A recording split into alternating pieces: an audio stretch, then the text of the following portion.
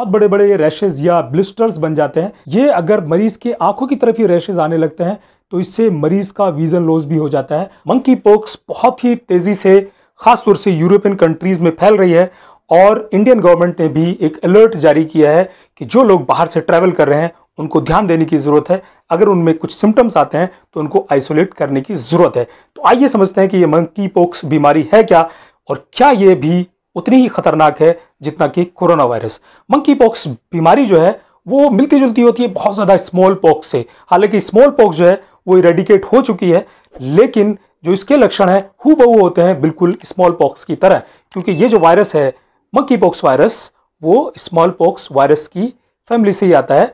इसका जो incubation period है इंक्यूबेशन पीरियड का मतलब होता है कि जब आप किसी मरीज़ के कांटेक्ट में आ गए या इस वायरस के कांटेक्ट में आ गए तो आपको कितने दिनों बाद पहला सिम्टम आएगा? तो जिस दिन आप किसी मरीज़ के कांटेक्ट में आते हैं या इस वायरस के कांटेक्ट में आते हैं तो उसके करीब सात से चौदह दिनों के बाद आपको पहला सिम्टम आता है और ये वारी भी करता है, करीब करीब इक्कीस दिनों के बाद भी आपको पहला सिम्टम आता है। तो इस पीरियड को हम इंक्यूबेशन पीरियड कहते हैं। उसके बाद जो लक्षण आते हैं, वो होते हैं बुखार, तेज बुखार आना मरीज़ को बहुत तेज हेडेक होना सीवियर हेडेक के साथ साथ बॉडी एक होगा माइलजिया होगा और मरीज़ को बहुत ज़्यादा कमज़ोरी लगेगी, उसको वीकनेस बहुत ज़्यादा फील होगी और जो लिम्फ नेट्स हैं, उनमें स्वेलिंग आनी शुरू हो जाएगी।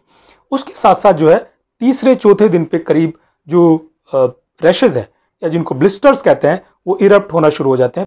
पहले ये छोटे छोटे लाल कलर के इरप्शंस होते हैं और जो खास तौर से फेस से और एक्सट्रीमिटीज यानी कि हाथ पैरों पे ज़्यादा होते हैं सेंट्रली ये लीजन्स कम दिखाई देते हैं।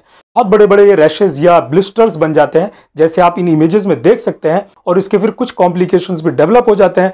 कॉम्प्लिकेशंस में होते हैं सेकेंडरी इन्फेक्शन का हो जाना बैक्टीरियल सेकेंडरी इन्फेक्शन का हो जाना एंसफ्लाइटिस न्यूमोनिया इस तरह के जो दूसरे कॉम्प्लिकेशन है, वो डेवलप हो जाते हैं। और जो सबसे बड़ी बात होती है, ये अगर मरीज़ के आँखों की तरफ़ ही रैशेज आने लगते हैं तो इससे मरीज़ का विजन लॉस भी हो जाता है और ये सबसे खतरनाक कॉम्प्लिकेशन है। और अगर निमोनिया या सेप्सिस समय पर नहीं ठीक होते हैं तो इस बीमारी से जान भी जा सकती है। हालाँकि बीमारी सेल्फ लिमिटिंग है, लेकिन फिर भी इसका मोर्टेलिटी रेट काफ़ी हाई है।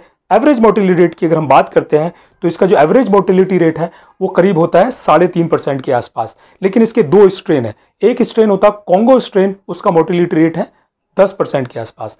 और जो दूसरा स्ट्रेन है, वो होता है वेस्ट अफ्रीकन स्ट्रेन उसका जो मोर्टेलिटी रेट है वो करीब एक परसेंट है तो इस तरीके से साढ़े तीन परसेंट के आसपास इसका टोटल मोर्टेलिटी रेट माना जाता है, जो कम नहीं है, बहुत ज़्यादा है। ये फालता कैसे है? ये एक्चुअल में जो इसका ट्रांसमिशन है, वो एनिमल टू मैन होता है। और एक बार ये अगर जानवर से किसी इंसान में आ जाता है तो जब भी कोई इंसान या इन्फेक्टेड पर्सन किसी दूसरे पर्सन के कॉन्टैक्ट में आता है तो इसको बीमारी लग जाती है। जनरली ये नेजल म्यूकोसा से, मुँह से, गले से अगर कहीं पे कटा है तो वहाँ से एंट्री कर सकता है। जो रेस्पिरेटरी ड्रॉपलेट्स हैं, जो मरीज़ की खांसी या सांस के साथ जो ड्रॉपलेट्स गिरते हैं, वो अगर आप उनके कांटेक्ट में आते हैं तो आपको ये बीमारी हो सकती है।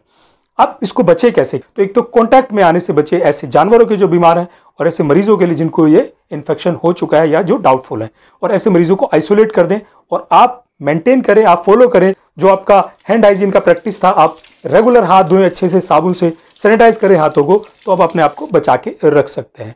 बात करते हैं ट्रीटमेंट की, क्या इसका कोई ट्रीटमेंट अवेलेबल है? एक्चुअल में इसका कोई ट्रीटमेंट नहीं है, ये सेल्फ लिमिटिंग डिज़ीज़ है बट हाँ जो सिम्टोमेटिक ट्रीटमेंट है, जो सिम्टम्स है, उनका आप ट्रीटमेंट कर सकते हैं।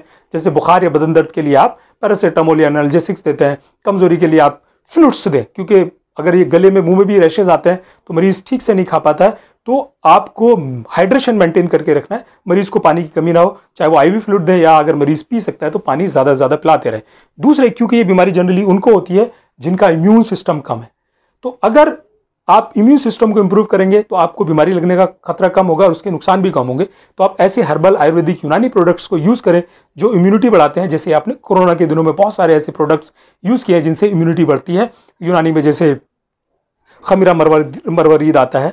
तुलसी बहुत अच्छा रोल प्ले करती है इम्यूनिटी को बढ़ाने के लिए। सेप्टिलिन एक हिमालय की दवाई आती है, जिससे इम्यूनिटी बहुत ज़्यादा बढ़ती है। उसके अलावा और भी बहुत सारी दवाइयाँ हैं जिनको आप यूज़ कर सकते हैं इम्यूनिटी को बढ़ाने के लिए। ग्रीन टी से भी इम्यूनिटी आपकी बढ़ती है, और जो काढ़े कई सारे हमने बनाए थे, वो भी आप यूज़ कर सकते हैं अपनी इम्यूनिटी को बढ़ाने के लिए। क्या इसका कोई वैक्सीन अवेलेबल है? एक्चुअल में इसके वैक्सीन पर डेवलपमेंट चल रहा है, एक अप्रूव्ड वैक्सीन भी है, लेकिन वो वाइडली अवेलेबल नहीं है। हाँ जो स्मॉल पॉक्स के वैक्सीन है वो इसी में कारागर हैं और वो दिए जाते हैं जिससे ऐसे मरीजों को फ़ायदा भी मिलता है। तो मुझे उम्मीद आपको ये वीडियो पसंद आया होगा, जानकारी भरा लगा होगा। अगर आपकी वीडियो वाकई पसंद आया तो उसको ज़्यादा से ज़्यादा लोगों को शेयर करें सो दैट ज़्यादा से ज़्यादा लोगों को इसका फ़ायदा उठा सके। और चैनल को सब्सक्राइब ज़रूर कर लें बेलाइकन का बटन दबा लें और वीडियो को लाइक करना ना भूलें। धन्यवाद।